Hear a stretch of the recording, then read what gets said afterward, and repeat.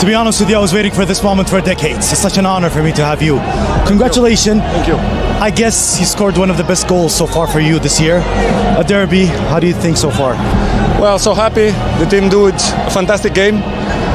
To defeat 2-0 is very, very, very difficult, but we believe until the end, and we scored three goals. So, congratulations to the whole team and the supporters was amazing today.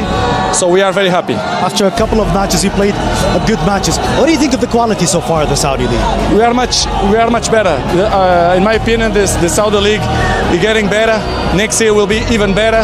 Step by step, I think this league will be the top five leagues in the world, but they need time, they need players, they need infrastructures.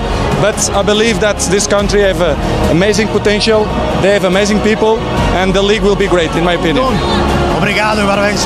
You're welcome, my friend. Thank you.